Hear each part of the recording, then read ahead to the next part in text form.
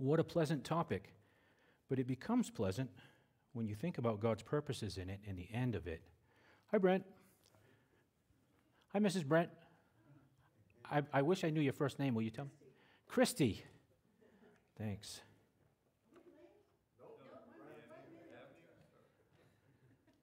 So God does not despise small things, and even if we have a class in small of number, it's not small in topic.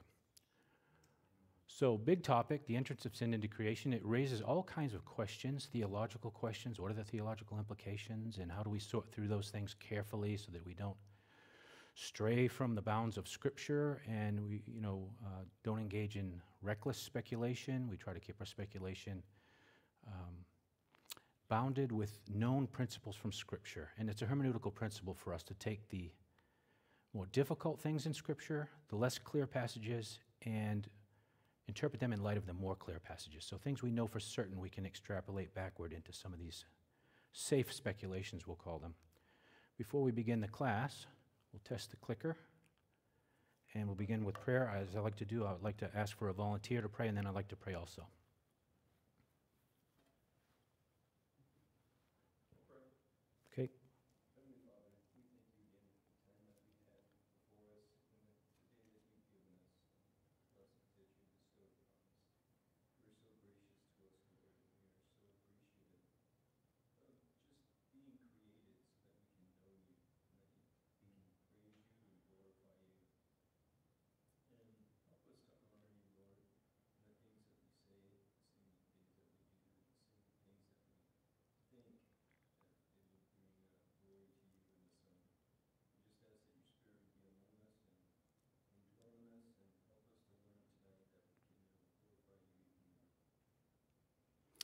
Amen, Lord. I do pray you'd fill us with your spirit as we consider these things, even if we've considered them before. Help us to be refreshed in our remembrances of your truths, in your benevolent self revelation to us. We acknowledge that your glory is our ultimate good. And we need to know you and for real in person, not just in fact and in knowledge. So we ask that you'd impart to us a relational connection to you, a love for you that grows, an awe for you that grows, and an understanding that helps us to appreciate you more. We ask for your help now in Jesus' name. Amen. Okay, so for the purposes of this class, we've been asking that question that Jonathan Edwards asks in his great dissertation, The End for Which God Created the World. So we're asking, why is it that God chose to create anything outside of himself, what would have motivated him? And we're also asking, how has he chosen to glorify himself in the world? And so we've been focusing on the third major category of how God reveals himself in the created order. Not just through the scripture rightly interpreted and through creation and the fingerprints of God all around us, but also in God's outworkings in angelic and human history. How is it that God is unfolding in His providence a history that reveals Himself? Edwards' definition of providence is God's use of the world He has made. So we're looking at how is it that God is using history, intervening in history, interjecting in history. And we're, we're kind of framing the class on this 12 spiritual conditions of image bearing creatures, three angelic and nine human, and this is our blank chart, and this is what the chart is going to look like full at the end. How is it that God uniquely glorifies himself in the spiritual conditions of elect angels, innocent angels, and fallen angels, humans in innocence, fallen humans, regenerate humans, glorified humanity? How is it that God uniquely glorifies himself in each of these spiritual conditions throughout history? God has allowed these conditions to exist, some of which exist temporarily, not that the record of that temporariness ever gets erased, but some of them are temporary. So last week we started with where God starts. He creates angels in a state of innocence in an angelic realm that He created specifically for them, perfectly suited for them and their capacities. In, a, in a, what we would imagine, extrapolating backward from what we know about God in, in the created order that we live in, the realm that we're created to live in, that God has created wonderful and beautiful and diverse things in the angelic realm that they're designed to appreciate and all of which is designed to, to cause them to appreciate it in the person of God, in his creativity, in his provision, in his sustaining relationship to them as Father. And they would have had a unique love in this state of innocence, in purity, a unique perspective on God. And God created them that way. But did God create angels in a state of innocence with the intention of leaving them there, you know, everlastingly? No. Right? How do we know that? Because the fall came and things changed. So God didn't intend to leave them in that state perpetually. He intended that to be an initial state, to reveal himself in concentric waves in his, in his goodness. What he gives to his creatures is the very best thing he can give. That's himself in his own perfections. And so he's revealing to angels in the state of innocence aspects of himself that they can enjoy and appreciate, aspects of himself that aren't going to end there. They're going to be ripple waves that go out, more and more revelations, concentric waves of God's benevolent self revelation that go out throughout angelic history.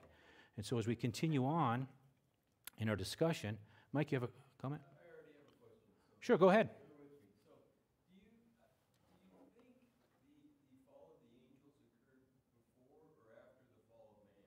before. Okay, there's some reasons that we would speculate that. There's not a, a, timeline, a chronological timeline laid out in the Bible for us like a systematic theology. So what we have to do is take clues and cues from the scripture and speculate as accurately as we, we can and say this is the most probable timeline. You know, I like to think of things chronologically. But we think the fall of angels, the creation of angels, happened perhaps a long time before the creation of men. There are those who would say Genesis 1 is talking about the creation of the world in six days, literal six days, and that the angelic realm was created simultaneously or concurrently with that. I would suggest there are other things in Scripture that would lead us to believe that's not the case. But Genesis 1 is talking about the creation of the material universe that we're inhabiting, the realm that He's made for us, this domain He's designed for us. And the reason, some of the reasons I would say that are by the time Satan gets to the Garden of Eden, he's already well developed. There's a lot of things that have had to have transpired before that timeline comes into effect. So that's one of the reasons I would speculate that that happened. Now, granted, this is speculation, and so we're making the best guess we can by extrapolating backward from what's known to what's unknown. And we're asking about the mysteries of, of God's self revelation. How might this have occurred? And we're making the best speculation we can, still recognizing that that's speculation. Okay, could it be right that it was created concurrently with the, the creation of the earth? Yes.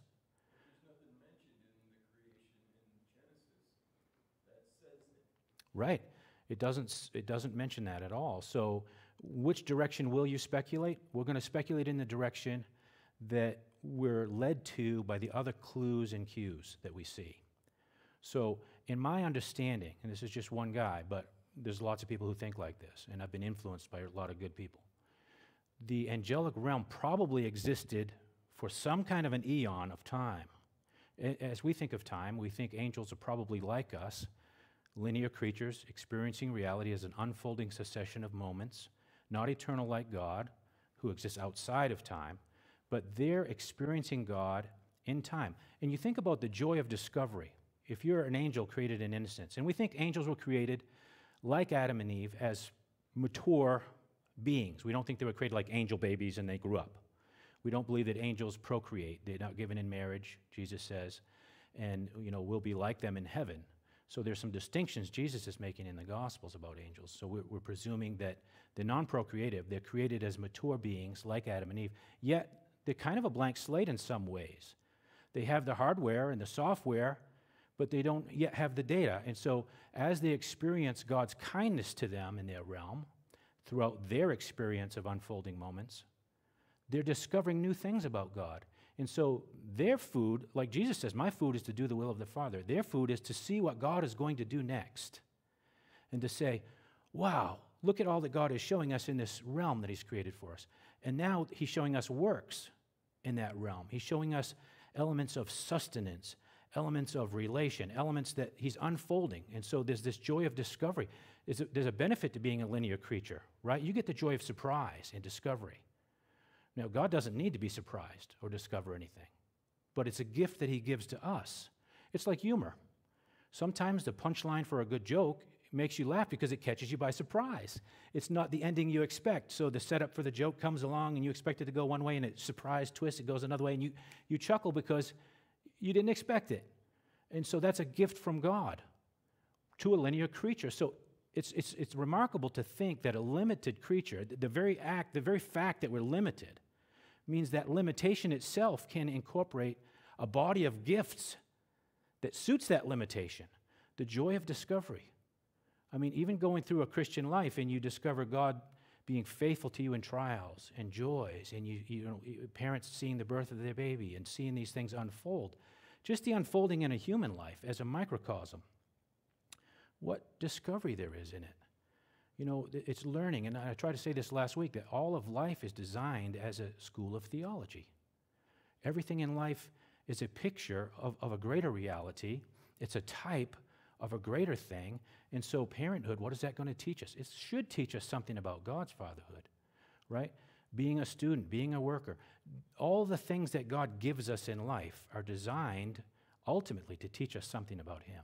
If Edwards is right, and, and the premise of this class is right, that God created all things outside of Himself for the benevolent revelation of His glory, okay, if that major premise is true, every subordinate premise that we discover in life should fit that major premise right? So everything in life is supposed to teach us something about God. And it will prove to be so in the end. Now, we're, we're dull a lot of times. I go through life, I, half the time I don't see all the good things God's doing for me because I'm just spiritually dull. And then sometimes later in life, God will give me this new retrospective, and I'll, I'll go, wow, you know, at the time I didn't get that job. I was so disappointed. I didn't understand how God's providence was leading. I need to provide for my family. I thought it was a shoe in. I was number two, and I came in. Number two is still the first place loser. I didn't get the job. So what's God doing? And then later on, you get this new retrospective and you say, wow, I'm so glad God prevented me from getting that job. Because if I had gotten it, the thing I wanted so bad and was praying for so much, it would have disrupted this greater blessing that God brought, this unexpected blessing that I had no foreknowledge of, but God knew. And so now that it unfolds, I see, oh, why would I be disappointed when God says no?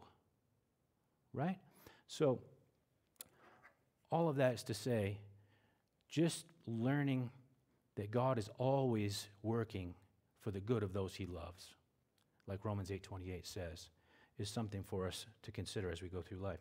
But yeah, with the angelic realm, back to your question, we believe there was probably a great deal of time for the development of this unique perspective on God and this unique relationship that God made with them, so that when the temptation comes, the angels who are being subjected to temptation should know better. They have a history. They know their Father, they know His love, they know His kindness, His goodness, His provisions. They know all kinds of things about Him. And so the culpability is there. So they're not just blank slates, and it doesn't just happen like uh, boom, boom, boom. From what we know about God, He's patient. He takes us through trials. He teaches us things. And so he's teaching his creatures that he loves. These are his children too. He creates angels direct creation. Now they're non corporeal, they're not, they're not exactly like us in every way, but they're like us in the sense that they possess intellect and emotion and volition and moral capacity and abstract reasoning and all these communicable attributes of God so that they can know him. Right? So we know some things about angels. And if angels are that much like us, and their design is the same as ours to give glory to God and to know God and enjoy Him forever, then we can presume speculatively by extrapolating backward that God must have been treating them with the same kind of kindness and love that He does us. Right? That's a fair speculation, wouldn't you say? And that would have had to have occurred over the course of time. Mm-hmm. The usage of the name Satan becomes more prominent afterward, but if you look at the scriptural list of the names for Satan, it's a really pretty long list. And it's not a very nice list. You know, father of lies, you know, slanderer, murderer, these kind of things. The list is long. And we can get into that a little bit later. But uh, in the beginning, he's created, like God creates everything, good. Okay? When he created in Genesis, and he declares everything good, except for one thing it wasn't good that the man be alone. But then he fixed that. So then he declares it all good and he rests from all his creation and he enjoys his creation on the Sabbath. So he created angelic realm in good too. We know God only creates good things. So, we're going to get into some of this with this introduction of evil, the entrance of evil into creation. So, the question we already started asking is not only why has God allowed corruption and sin to enter the created order, but how? And both of those questions are very important. Not only why did God create anything outside of himself, but how he reveals himself. And why and how has he allowed sin and corruption to exist in the created order? This becomes a difficult question theologically for a lot of people. It becomes so confusing. In fact, they, they run off into aberrant heresies like open theism.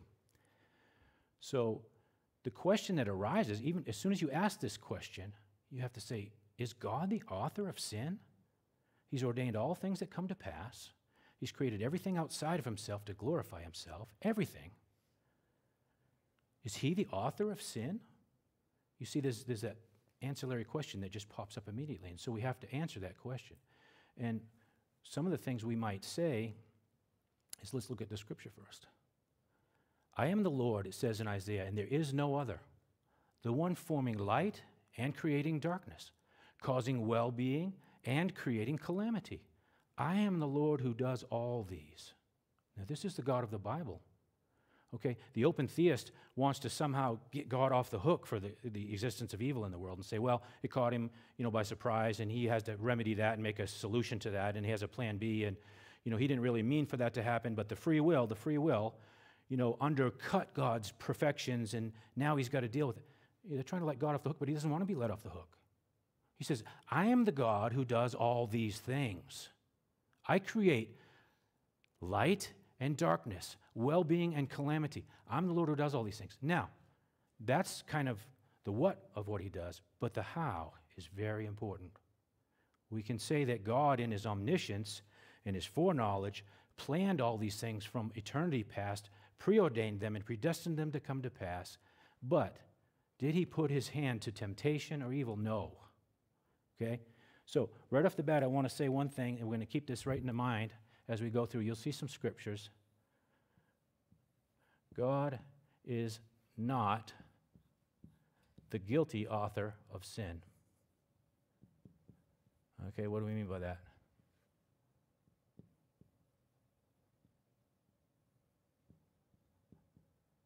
He knows that sin is going to come into existence. He plans to allow it. And it's not just this passivity, like he can't control it, like some dualistic battle. He knows it's going to come into existence, but he doesn't touch it. So then he's ordained the entrance of sin into creation through the use of secondary means. Because God is the prime cause in all that's caused, the prime mover in all that's moved, does not mean he doesn't utilize secondary causes and responsible moral agents in their actions he ordains that he will utilize those actions toward a greater end. But he doesn't himself tempt anyone. He can't be tempted. He doesn't tempt anyone else. But he does plan for these responsible moral agents to act outside of his morality so that he can do something greater. And we'll see that as we go. Another verse. Remember the former things long past, for I am God and there is no other. I am God, and there's no one like me, declaring the end from the beginning, and from ancient times things which have not been done, saying, My purpose will be established, and I will accomplish all my good pleasure. It is his good pleasure to temporarily allow some of these things through the actions of secondary agents for a greater good that we'll also see. You can remember what God says to Pharaoh. He says, Indeed, for this reason I've allowed you to remain and you remember the context Pharaoh, you know, oppressing the Israelites and doing evil and denying God and at every turn. He says, I have allowed you to remain in order to show you my power and in order to proclaim my name throughout all the earth. Remember, the whole earth is going to be filled with God's glory. And the whole earth is going to be filled with all of God's glory, not just part of it. Not just his goodness, but his wrath against sin, his justice, his holiness, everything about God's going to be revealed in this context, this contrast between good and evil. You see, God in his omniscience understands the concept of evil before it comes into existence, but he's not going to perpetrate that himself, but he is going to display himself as a, in a contrast to that. he says to, to Pharaoh, I'm going to proclaim my name throughout all the earth, and still you exalt yourself. It's a satanic typology. In typology, we usually think of typology as like this Old Testament preview of something that's going to happen later, the fulfillment of the type. But typology can also be extrapolated backwards. And we're going to see that a couple of things. That's a very good observation, Mike. I appreciate that. This is a satanic typology. The Pharaoh who thinks he's the ruler of all, the big cheese in the world, he still exalts himself even in the face of this confrontation with God. He's insane with his delusional self magnification this megalon, megalom, megalomania, megalomania, I can't say the word, megalonomiacal. I cannot say it. Proverbs says, The Lord has made everything for its own purpose, even the wicked for the day of evil. Everyone who's proud in heart is an abomination to the Lord. Assuredly, he will not be unpunished. So God says right there, I've, dec- I created everything even the allowance of evil to come into the created order, and yet it will not go unpunished. It will not escape my justice. James makes it clear God can't be tempted, He doesn't tempt anyone. Each one is tempted when he's carried away and enticed by his own lust. This is an echo of the satanic original sin, too. Enticed by his own lust. Then, when lust has conceived, it gives birth to sin, and when sin is accomplished, it brings forth death. The wages of sin is death. And yet, look at the next verses. Do not be deceived, my beloved brethren. Every good thing given, every perfect gift is from above, coming down from the Father of lights, with whom there's no variation or shifting shadow. God gives only good as far as his direct involvement goes. Okay, so you want to talk about sin, don't be blaming God for it. Don't be saying, Who is God to judge me? How is it that he made me like this? Does not the potter have the right over the same clay to make one lump for, you know, common use and one for noble use. God has the right because he has a greater thing in mind. Ascribe greatness to our God, the rock. His work is perfect. All his ways are just, a God of faithfulness and without injustice. Righteous and upright is he. But for those who have acted corruptly toward him, they're not his children. That's a big statement. Because of their defect, their perverse and crooked generation. This is a self induced defect. We have to remember that. God is not the guilty author of sin, he never put his hand to temptation. This is a self induced defect. Okay, and that's what a lot of people don't get. Remember.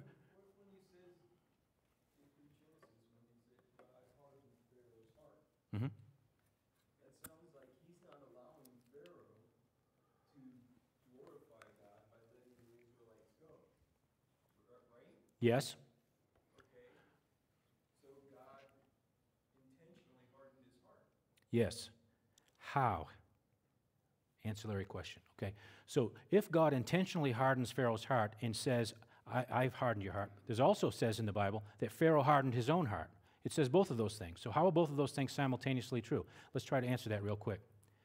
All God has to do to harden the heart of a sinner is withhold his restraint, which he owes no one, by the way. Does he owe any creature anything? What do you have that you've not received? Every good thing you've ever had, you have a gift from God. You didn't create it yourself. So if God is causing a restraint from evil in the world, restraint from evil in the heart of Pharaoh, who wants to glorify himself in his megalomania, said it. So Pharaoh wants to glorify himself, and God can restrain his madness, but does God owe him that restraint? He owes no creature anything. All God has to do to harden Pharaoh's heart is to relax his restraint and let Pharaoh harden him his own heart. Absolutely. There's a ripening for judgment prior to Christ's return that has begun in earnest. The world has gone collectively mad in many respects, and they're going mad at an ever increasing rate. What's most alarming about it is the exponential rate of degeneration. We've always had degeneration. But any of us have lived on the planet any length of time know that the rate of degeneration is accelerating like an avalanche. The exponential rate of degeneration is absolutely alarming, but alarming in a good way for those who believe that the biblical prophecies of end times conditions are coming true right before our eyes, and that has to happen before the Lord can return. Okay? Jesus is coming, and that's proof.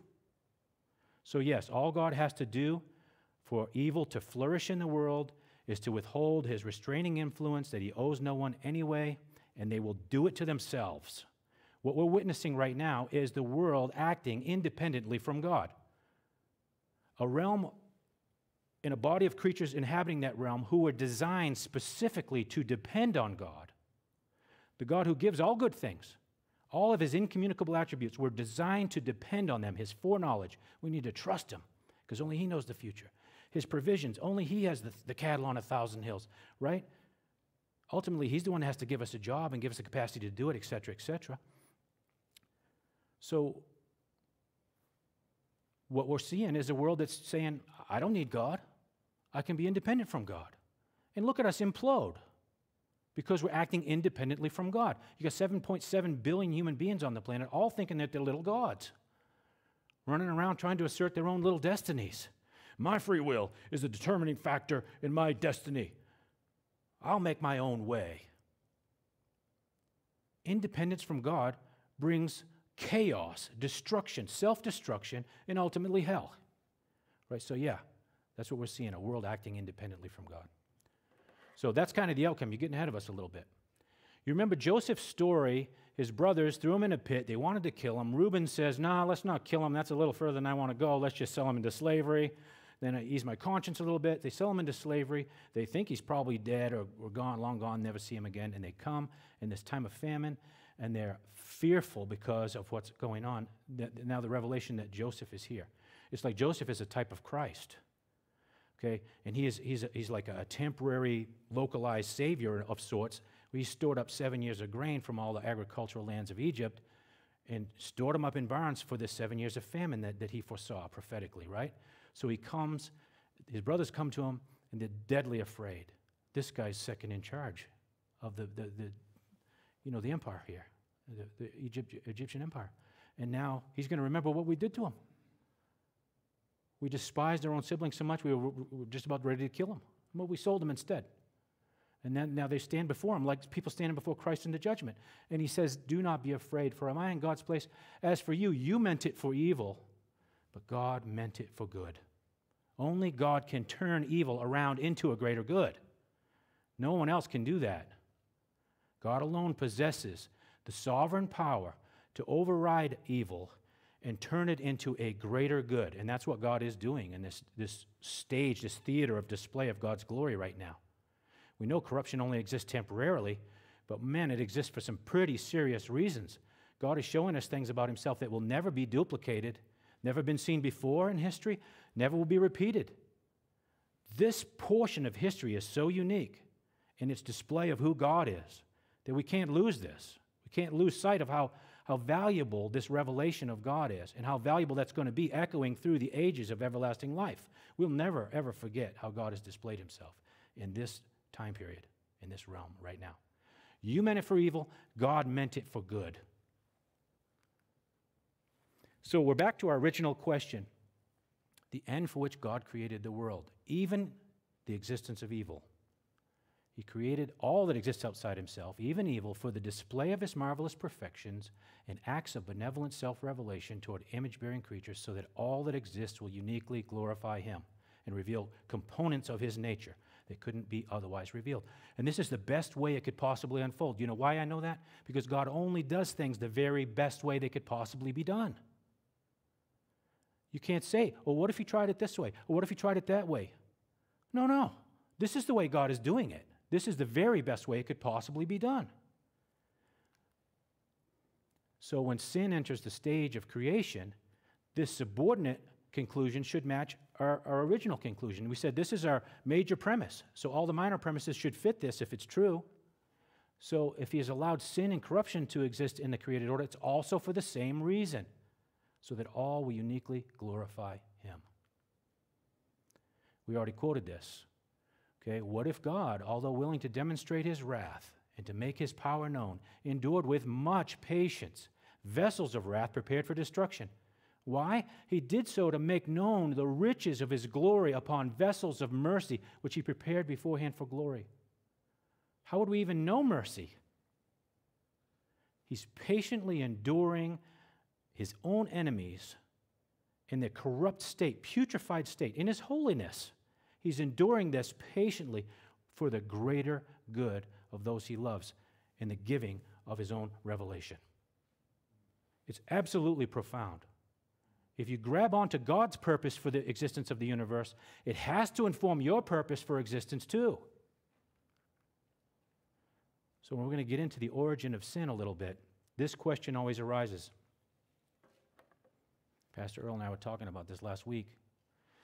So, in the perfectly sinless environment of the angelic realm, in a being created in sinlessness, because God created everything, this is talking about Lucifer, how did internal temptation arise from within the heart of Lucifer? I don't know. R.C. Sproul says, I don't know. Every theologian who has any ounce of honesty says, I don't know. This is a mystery. This is Deuteronomy 29 29. The secret things belong to the Lord our God.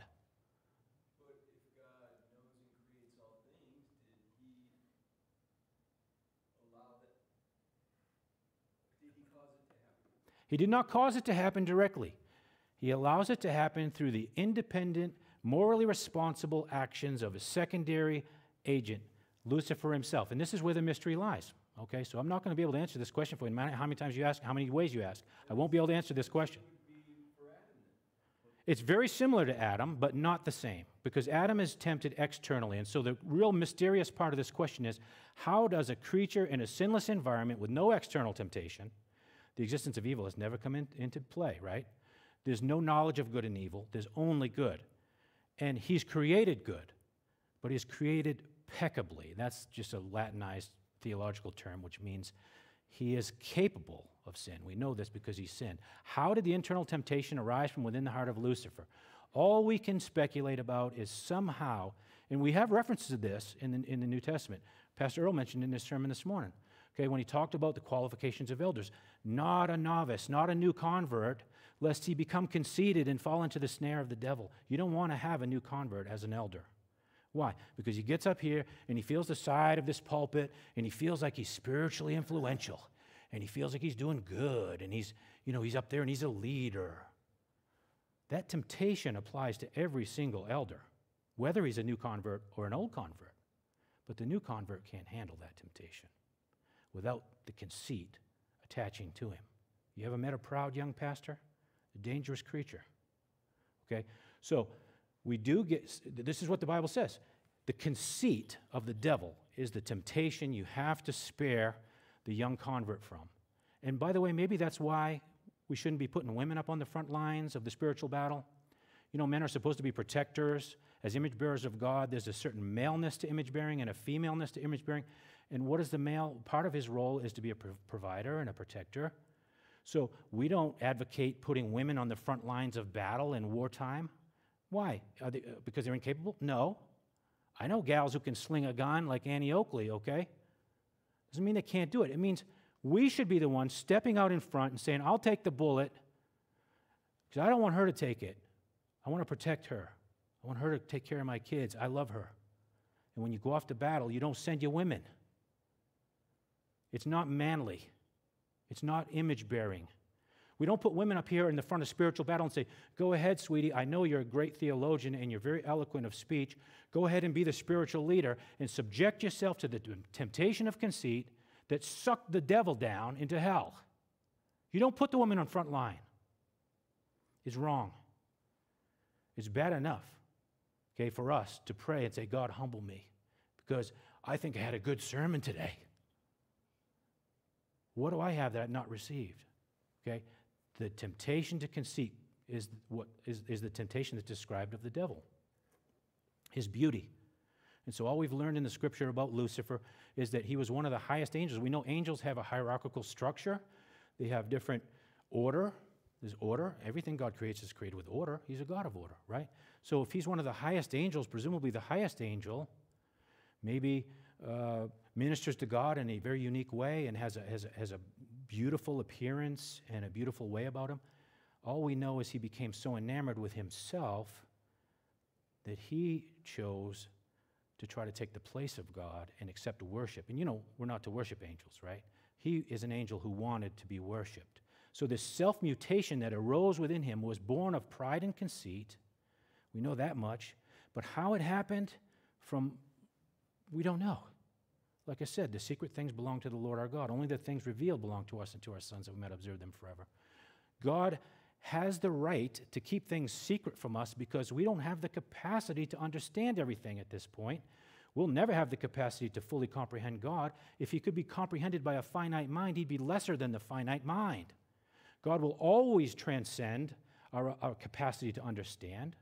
Even in heaven, when our understanding grows and our capacities grow and we understand God more and more and more, we'll never, ever be able to catch up to the infinitudes of God. We'll never, ever fail to be surprised by his perpetual, endless revelations of his own infinities to us. You see the benefit of being a limited creature? So, yes, the nature of the temptation is pride, it's conceit, it's self love.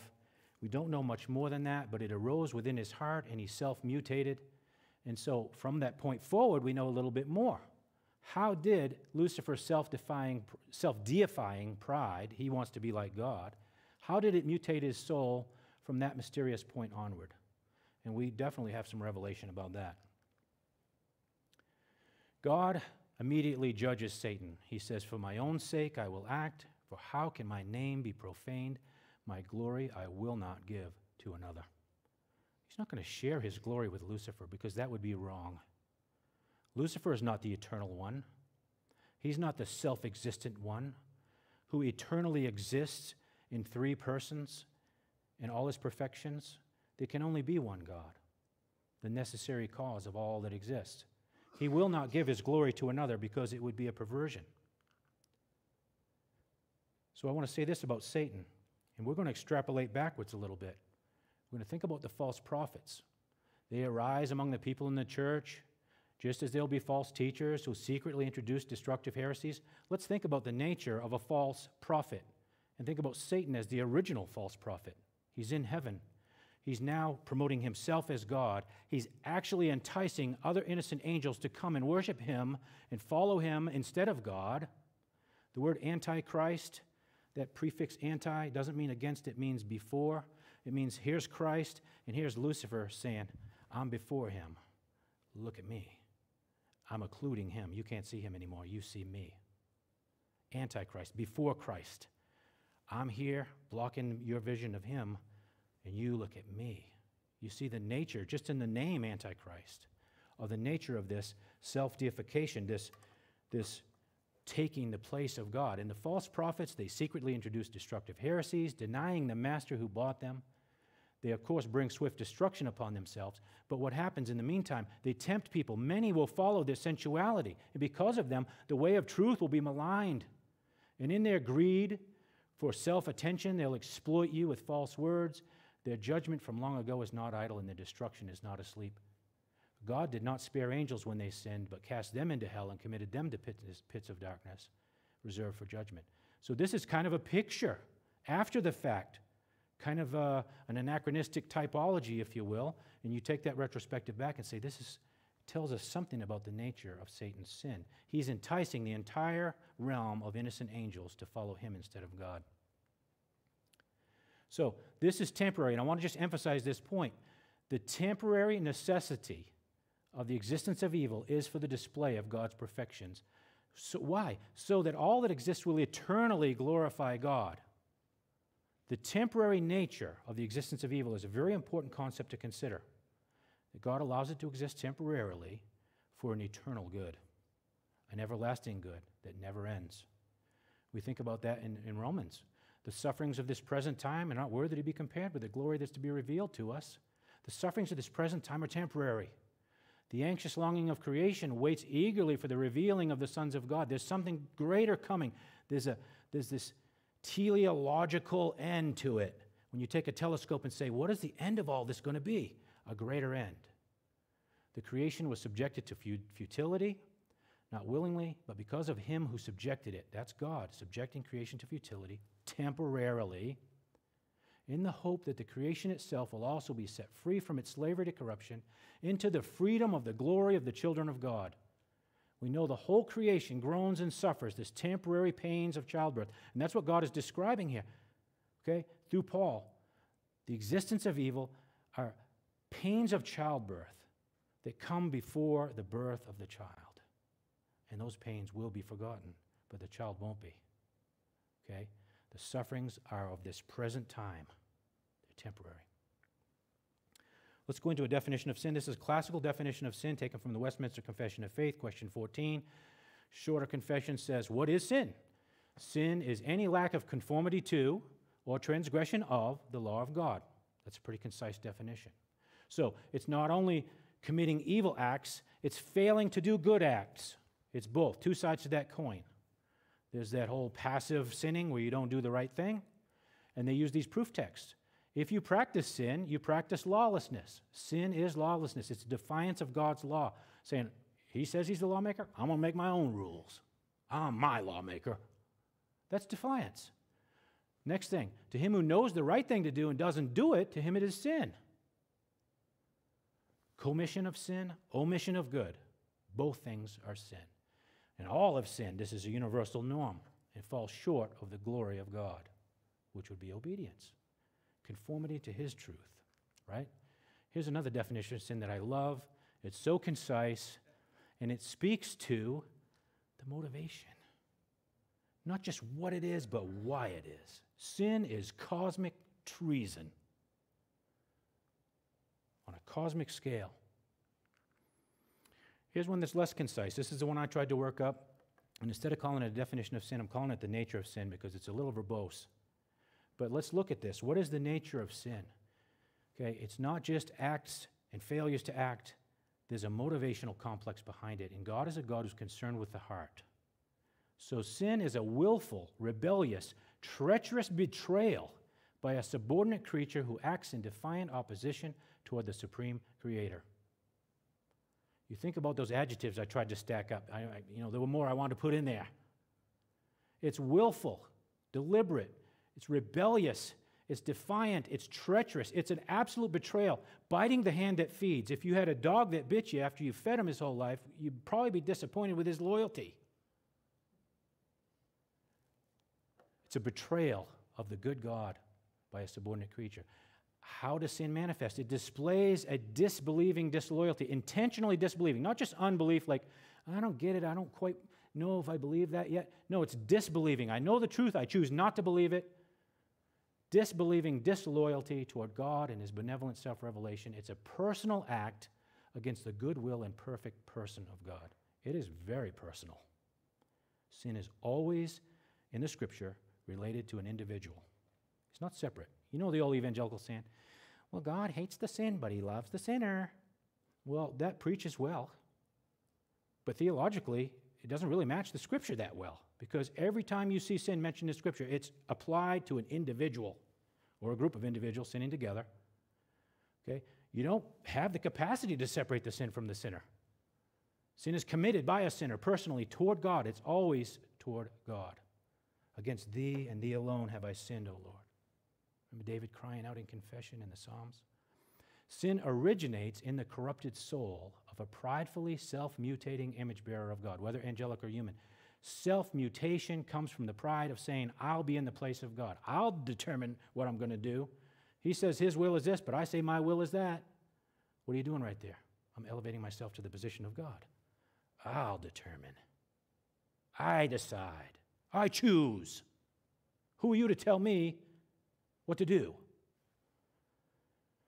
Self mutating pride. Every sin can be traced to its root in self deifying pride. If I had to do a concise definition like Sproul did, where he says sin is cosmic treason, I would say sin is self deifying pride toward God. So you can't, uh, you can't say that in defense, the devil made me. That is correct. You cannot say the devil made me do it. You can say the devil was the origination point of sin, but I have been corrupted and I sin. Why do I respond to temptation unless I'm corrupt in my soul? Sin is not an act of the mind, it's not an act of the will. Those things are all involved. Sin is soulish, it comes from the soul, the corrupted soul. Why would I respond to temptation if I wasn't already corrupt? Why would I like that stuff? Why do I watch stuff on TV that I would never watch if the Lord Jesus was sitting next to me? Because I know He wouldn't like it. Why do I like it? Watching all these homicide shows. Boom, boom, boom, blood and guts. Why do I watch that? Well, I'm not a murderer. I just like watching it on TV. What is wrong with me? I'm corrupted.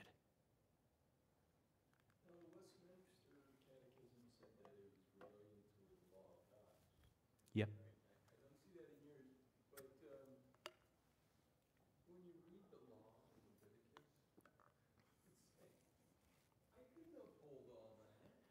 No, Jesus did, I couldn't. Now, now, before the law even came uh, then we had the Ten Commandments. And, but that wasn't, neither one of those were around when Adam fell.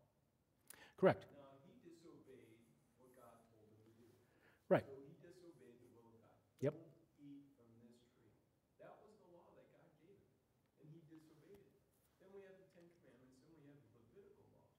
How can, how can anybody keep the Levitical law? I mean, the Ten Commandments are hard enough, but the Levitical law, now, if, if I were to uphold all the Ten Commandments but not uphold the Levitical law, I'm still guilty of sin. If you fail at one point, you're guilty of all. And so, really, what you have to understand, even in the Westminster Confession, when they're talking about the law, they're not necessarily talking just about the theocratic Mosaic law in the theocratic nation of Israel, the 1600, uh, 613 laws, okay, and statutes. We're really talking about the law of God. If you look in the whole corpus of Scripture in the New Testament, the law of God is going to be written on our hearts in the new covenant. The law of God is really obedience to God in everything. It goes beyond those 613 commandments. You're complaining that that would be impossible to do. I agree. Nobody has done that except Jesus. Okay? So, one thing the law does is it teaches us our need of Christ. It's a schoolmaster to lead us to, to the, the true lawkeeper. But um, the real, true law of God is be perfect as your heavenly Father is perfect. That goes way beyond the Levitical law. That frustrates me way more than you're describing the frustration with these. The, the- you know, who could who could obey that? Uh, who can be perfect like God is? The Lord Jesus. There's only one. And so, yeah, you're right. And I think the Westminster is using law in a more general sense in that case. And so I didn't deliberately omit that from my attempt at a definition here. I think it's implicit in what I'm saying. This disloyalty and defiance toward God and his benevolent self is, is defying any truth that God teaches us about his, his, himself. If we're image bearers of God, we're called to be like him in every way. Right? That goes beyond any, any written law. It goes beyond a moral code. It goes to the heart and the motive of the heart and the union of the heart to God and in dependence on him. Jesus says, I'm the vine, you're the branches, abide in me. If you don't abide in the vine, what happens? You wither and die.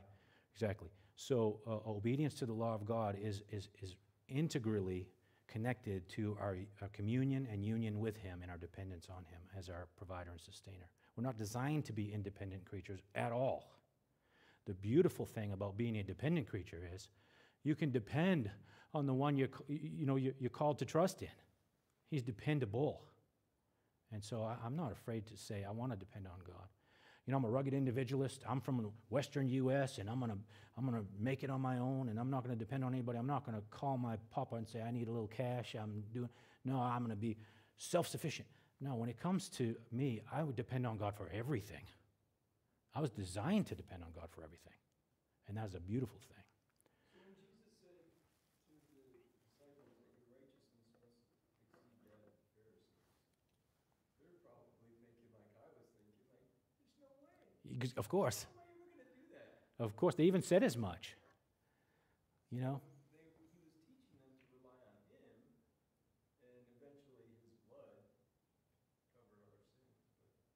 Absolutely. But you want to talk about freedom. Now, we're just going to take a preview forward into our temporary state, into our permanent state. We will have the nature and the freedom to obey. Every single motion of your heart in heaven will be to please God. And you'll be so pleased to do it that you'll be so free that you'll always be doing everything you want to do all the time. Wouldn't you like that right now? I get to do everything. You know, some guy gets rich and hits the lottery, thinks, I can do whatever I want all the time now. Whoop de doo. Now life is grand for me. Now, that's, that's folly. When your heart is so purified and transformed, you, you talk about the new birth being a transformation. When we die, that's going to be the biggest transformation. We're going to be complete, all sin is going to be completely eradicated from us. Every motion of our heart and our desire is going to be to please God all the time. And we're always going to do everything we want to do all the time because it's going to be exactly what God wants to. We're going to concur with his, the beautiful purity of his will and, and love the things he loves and hate the things he hates and abide in that holy state in such a sense of freedom. There's no conceivable freedom like that. Okay, I want to go on a little bit. I want to look some more at typology and in the, in the human realm that we can extrapolate backward a little bit toward understanding the nature of the satanic temptation. And, I, and, and I, the Lord brought this to mind this week. Absalom's betrayal of King David, who is a type of Christ, by the way. You think about this the description of Absalom in 2 Samuel. Now, in all Israel, no one was as handsome as Absalom, so highly praised. From the sole of his foot to the crown of his head, there was no defect in him. He was the most handsome man anybody had ever seen. He was just a beautiful prince and a privileged prince. So think of the parallels between his story and Satan's story in heaven. Absalom used to rise early. He got it in his heart that he wanted to be king. He went to the gate, and when men came and they wanted to bring a suit to the king seeking justice, Absalom would call out, and then he would say, You know, where are you from? Absalom would say, See, your claims are good and right, but no man listens to you on the part of the king. Moreover, he would say, Oh, that one would appoint me judge in the land. Then every man who has any suit or course or cause could come to me, and I would give him justice. I would give him justice. You're not going to get justice from the king, he's too busy. You're never going to reach him, he's so unapproachable. But here I am at the gate meeting you, and if you wanted me to be your king, I would give you justice. I'll give you justice. You see, he's trying to step in front and say, Don't go to the king. Right here. Right?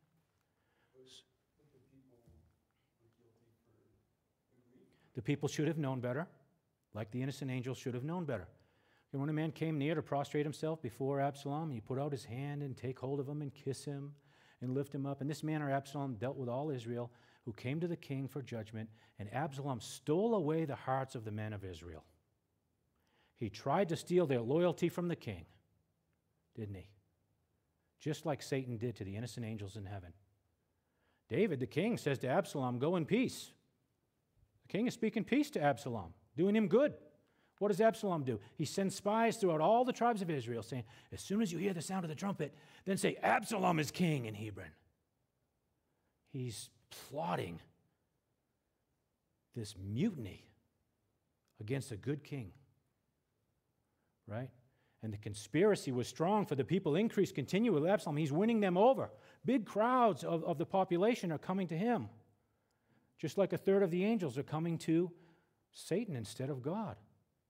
And even David hears of it. The hearts of the men of Israel are with Absalom. And so this betrayal is widespread. What does Absalom do next? Pitches a tent on the roof of his father's residence and defiles it. In the sight of everyone, sets himself up. I'm the king. I have the concubines. That's a whole nother layer of the story that goes beyond the purposes of the class. But yes, there's consequences there. There are layers to this story. But for right now, I'm just focusing on, on Absalom's betrayal as a satanic typology that we can export backward and extrapolate and to try to understand the nature of this betrayal in heaven. Absalom in his lifetime had taken up and set himself a pillar in the king's valley, and he named the pillar after his own name. This tells you something about the man's heart. He's a self glorifying, self elevating, megalomaniacal self kingmaker. And you know, th- that monument, I'm going to build a monument and I'm going to name it after myself and stop here and don't even bother going to the king. That tells you something about his heart. What is the end of Absalom? Very similar. Okay, he gets his head caught in a tree while he's trying to destroy the king. And the servant of the king drives three spears through his chest. And all those that were working with Joab also gathered around and cheered his demise, like we will at the end of the age when God casts Satan into hell. We will concur with that judgment. He's the one that frustrated the world with evil and brought this corruption on us, and we will concur with God's judgment. They took Absalom, cast him into a deep pit in the forest, and erected over him a great heap of stones so that no one would forget. and all Israel that was with Absalom, they all fled like cockroaches. Let the rocks cover me. But there will be no escape from the justice. So you see how we can use biblical interpretation to extrapolate a safe speculation backward toward what we don't know fully. Okay? Also, satanic typology in Isaiah. This is a rebuke from God through the prophet Isaiah to the king of Assyria, is often used as a picture of Satan's fall. Look at this, how, how applicable this is to Satan. As it is with many Old Testament prophecies, there are dual purposes for the prophecy. There's an immediate context in a human realm, but there are ramifications in the heavenly realm that echo through. How you have fallen from heaven, O star of the morning, son of the dawn. You've been cut down to the earth, you have weakened the nations. But you said in your heart, I will ascend to heaven. I will raise my throne above the stars of God. I will sit on the mount of assembly in the recesses of the north. I will ascend above the heights of the clouds. I will make myself like the Most High. And yet you see God's justice. Nevertheless, you'll be thrust down to Sheol to the recesses of the pit. Look at these statements underlined I will, I will, I will, I will. Compare that to Jesus. I've come to do thy will, O Lord. Thy will be done on heaven as it is on earth. You see a contrast in that? Another satanic typology in Ezekiel, God speaks through the prophet Ezekiel to the king of Babylon. He says, You had the seal of perfection, full of wisdom and perfect in beauty. You were in Eden. How is this not referring to Satan? I don't know, because the king of Babylon wasn't in Eden. The garden of God. Every precious stone was your covering the ruby, the topaz, the diamond, the beryl, the onyx, and the jasper, the lapis lazuli, the turquoise, and the emerald, and the gold. The workmanship of your settings and sockets was in you. On the day that you were created, they were prepared. You were the anointed cherub who covers, and I placed you there. God gave him a position of great privilege. You were on the holy mountain of God. You walked in the midst of the stones of fire. And then it goes on. You were blameless in your ways from the day you were created. God created Satan good until unrighteousness was found in you. By the abundance of your trade, you were internally filled with violence and you sinned. Therefore, I've cast you as profane from the mountain of God, and I've destroyed you, O covering cherub, from the midst of the stones of fire. Your heart was lifted up because of your beauty. See the pride? You corrupted your wisdom by reason of your splendor. You corrupted yourself and mutated yourself because of your pride and self love and your failure to love and acknowledge God as the giver of your gifts. I cast you to the ground. There's quite a bit of detail in Scripture about what went on in the heavenly realm if we look at it that way. Jesus says, I watched Satan fall from heaven like lightning. He's cast to the ground. His sin brings immediate justice from God, and the innocent angels see God's justice. You imagine being in the innocent angelic realm, and you know, your population is being subjected to this temptation, and you see your friends and relatives and loved ones and your neighbors and this population that you exist in following over after this cherub, this Lucifer. And you, you, you're saying, Why are you going there? God is the one who made us. God is the one who provides for us and sustains us and loves. Why are you going with Him? He's a creature like you. You could almost see a debate going on. And two thirds of the angels remain loyal to God, and a third don't. They prove their disloyalty and going after the latest fad and the, and the most sparkly thing that they see at the moment, and this momentary fascination with the, the usurper's beauty. This division happens in heaven. Just like humanity is divided into two groups, they stumble over the, the cornerstone. We don't divide humanity by ethnicity or any other means. We divide humanity by those who are in Christ and those who are not in Christ. Two groups of humanity, just two. Two groups of angels those who follow Satan and those who are loyal to God. God's justice comes. They'd never seen evil, they'd never seen temptation. Now they're witnessing it. They see the fruits of it, the awful fruits of it are when God judges the angelic realm and he casts a third of them out of the beauty of the realm he created for them. Those souls, if you will, those angelic souls are lost permanently. And I mentioned this in the first class in the overview, but I don't know if you can imagine a third of the world's population dying all of a sudden how that would affect you. If, if even just a third of the people you knew in your sphere of life, let's say you know several hundred or several thousand people in your life over the span of your life, if a third of them died all of a sudden, there would be a devastating blow. A devastating blow to see the beauty of heaven and all the perfections of all the order that was there, all the activity that went on, all the styles of worship, and all the things that happened, ripped out, thrown down, and lost. The shocking drama of it, the contrast between good and evil, the emergence of God's justice, his love for purity, his intolerance for anything impure, his unwillingness to share his rightful glory with another, his immediate justice, his pronouncement of judgment, and the consequences of that sin are absolutely cosmically shock waves in their uh, experience of existence. This is.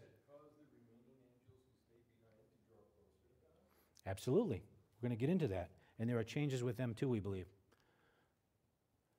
So God didn't spare those angels when they sinned. He cast them into hell and committed them into pits of darkness reserved for judgment. They're lost. And this is where we are in our chart now. The influence of Satan in the innocent angelic realm has brought about a great fall, and a third of the population of angels is now changed. They've lost the God who, who sustained them, right? All the good things that they derived from abiding in relational communion with God have now been lost and ripped away. They're now independent from God and they're left to themselves. They still have some echoes of the original creation in them, they still have intelligence. They know what's happening to them. They still have a moral consciousness. They know they're guilty. They know God's judgments are right. And they know it's too late. They're aware. They're aware of God's glory too. Do you believe that it's possible for the fallen angels of heaven, however, myriads upon myriads, ten thousands upon ten thousands, many, many, many, a whole giant third of that giant group, do you think it's possible that they now are displaying God's glory in a unique way that had never before been seen? I hate to use the word expendable, but I will say that God is producing a greater good from the great evil that they tried to perpetrate. And yes, they do glorify God in a unique way. And things about God are being seen in the created order that have never been seen before and could never have been seen in another way. So, if you want to study the fallen angels, how is it that God uses them to glorify Himself? That's a, a, a, sobering thing to study. And there are a lot of scriptures that talk about that. Well, we, we saw one of them. He cast them and committed them to pits of darkness reserved for permanent judgment, right? Here's another one. Angels who did not keep their own domain but abandoned their proper abode, he's kept in eternal bonds under darkness for the judgment of the great day. There still remains a future judgment for them. There's an initial judgment, but yet there's a judgment to come. Is a now, not yet. The initial and more to come in the final judgment. And we'll see that when we get to this, this point on our chart, if I can get there. I'm going to skip ahead just a little bit. The final judgment comes at the end, in the eschaton, before all things are, are at the consummation, are wrapped up in Christ and resolved, and all the books are balanced, and all the judgment happens. Humanity and fallen angels will be fully and finally judged at that point in the future. But Right now, what I would like to talk about is the two thirds of the angels, and you mentioned this, Mike, that remained loyal to God. Did they remain loyal to God because they had some special insight, special knowledge? No, we're going to say, look, it's the same as us. We don't say, I got saved because I was smart enough to figure out the gospel. I wanted that life insurance policy. I didn't want to go to hell. I wanted to look out for my best interest, and my best long term interest is to be in heaven instead of hell. So I'm going to choose Jesus based on my real super smart chooser, and I'm going to determine my destiny with a little flip of my little mental switch. We don't say that. We say God has to open the eyes of the blind. The self serving, self deifying, corrupted sinner has to say, I'm offensive to God. God is holy, I'm not. I need rescue. You cry out to God. When God opens the scales off your eyes and he, he gives you a new heart and He regenerates you, He gives you faith to believe in Christ. He gives you the eyes to see your sin, conviction of sin, confession of sin, repentance from sin. I want to get away from that. It's sucking me into hell. where do I turn? I want to turn from this, but I have to turn to something. And so I repent of this. I turn in faith toward Christ. I see Christ for who he is the divine Savior who alone can rescue me, who alone can satisfy the demands of God's justice, who alone can take away my sin and give me his own righteousness. And see, the gospel is a divine miracle. We don't say, I figured it out. What do you have that you've not received? It's the same thing in the angelic realm. Do you think that these elect angels are sitting around heaven going, Boy, am I glad I'm, i chose, right. I could have chose Lucifer. You know, he was pretty, pretty shiny. But I made the right choice. You think they're sitting around congratulating themselves, pridefully saying, I did it? No, they're saying, Thank you, Lord, for preserving us in the right calibration toward you, for granting us the, the, the loyalty to escape that powerful temptation. It had to have been powerful. These angels were accustomed to beauty. They wouldn't have been easily fooled by some grotesque blackness. You know, most of Satan's deceptions are just a little bit of error mixed in with a whole lot of truth.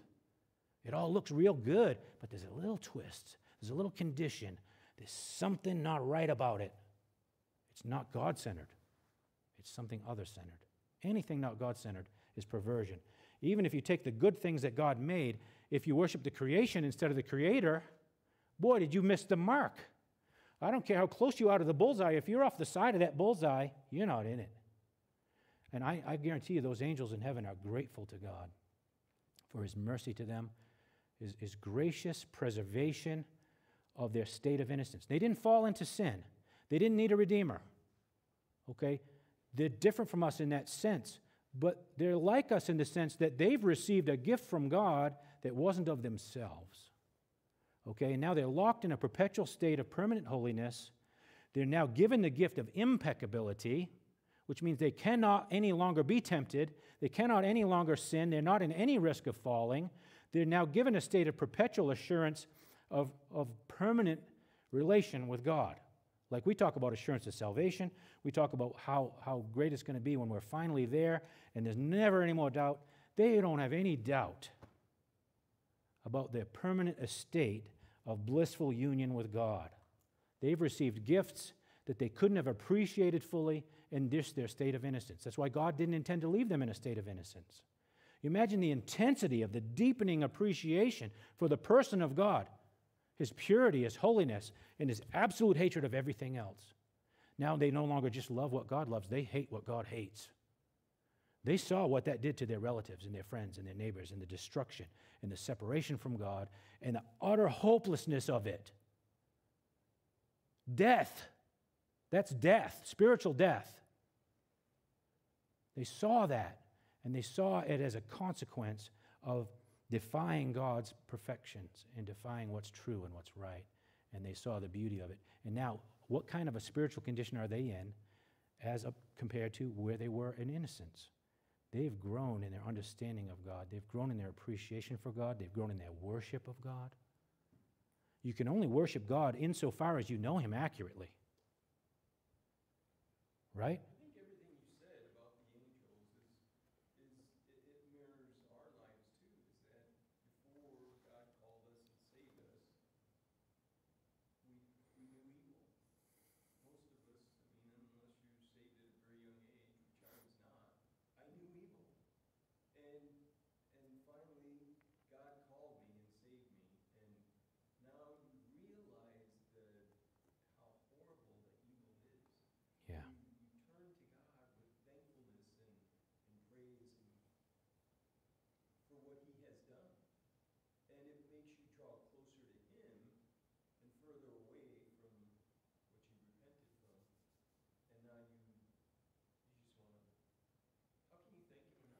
Absolutely, Mike. How can you thank him enough? I wish that was on the tape here because that's very edifying stuff. I appreciate you saying that.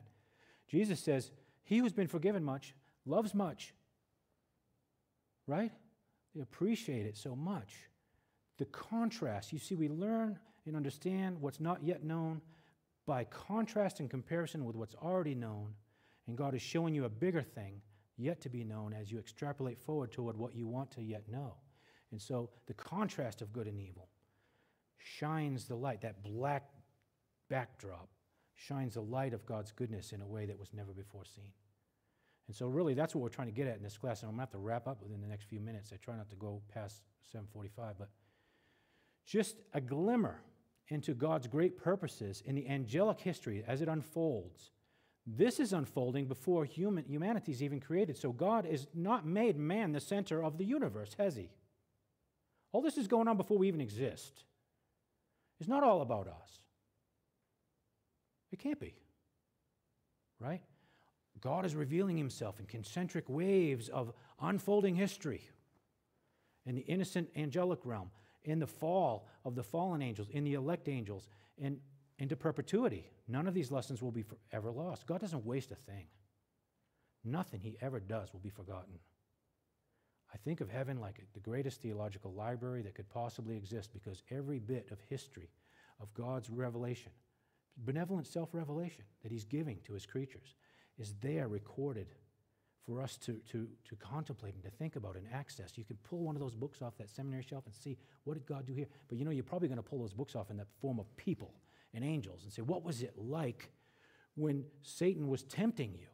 Did you feel the temptation? Were you drawn that direction? How is it that you stayed loyal to God? How is it that God preserved you and the elect angels in this way? And how did you become aware that He was giving you this, this freedom from temptation and this impeccability and this security? And how is it your discovery of God's goodness exploded your mind into unbelievable, unfathomable worship toward God? Wouldn't you want to interview an angel? I think you might be able to. I think they're going to want to interview you as well.